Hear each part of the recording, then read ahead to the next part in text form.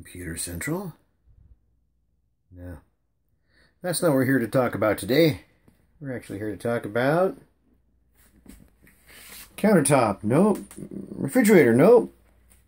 A little tiny cutting board. Nope. Utensils. Nope. How about a cabinet? Well, not the cabinet actually. It's what's inside the cabinet. There you go.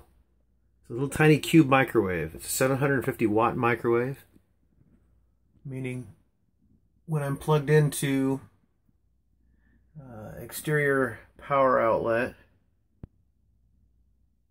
it's not sucking uh, maximum amounts of uh, amperage and drawing a lot of current, creating all the wiring from where I'm plugging in all the way to my trailer to actually get warm and heat up.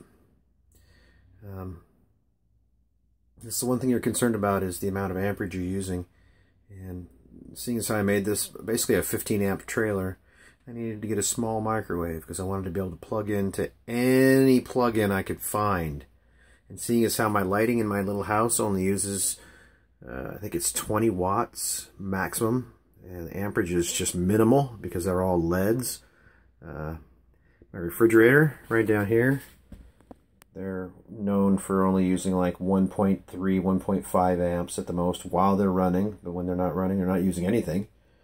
Uh, so I said, you know what, I'm going to have to get, if I want a microwave, I can have one.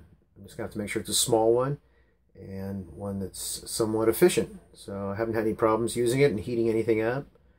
Uh, anything I water for making tea,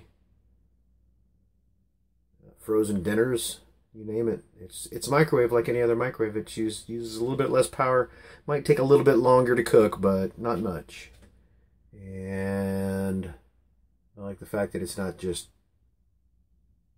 massively oh, abusing the the power line that's coming from wherever I'm plugged in all the way to my trailer. So that's the point.